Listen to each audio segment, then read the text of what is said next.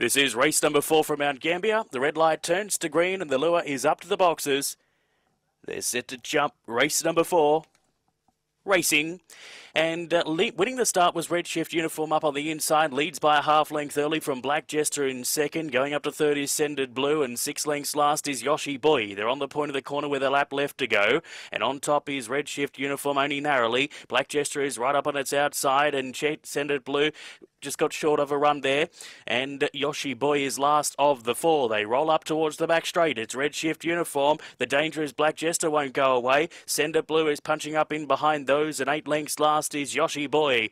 On the top corner now, red shifter uniform goes into another gear. Leads by three lengths now from Black Jester and Sender Blue. Red shift uniform turns for home and holding them all at bay. Red shift uniform from Black Jester, Sender Blue, Yoshi Boy.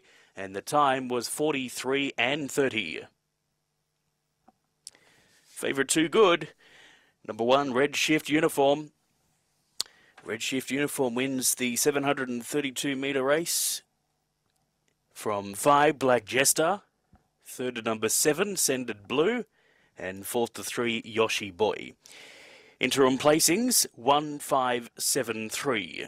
Interims, 1573. The race time was 43 and 27. And we stand by for the margin. Number one, Red Shift Uniform, the winner. It's been racing well. Start 32, win number eight today.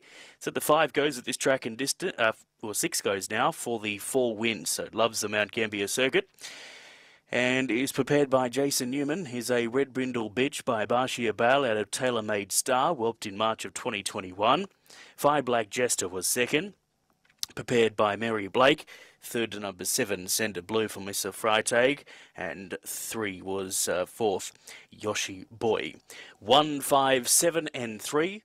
The margin, five and three quarters by one and a quarter, and 43.27 the race time on race four.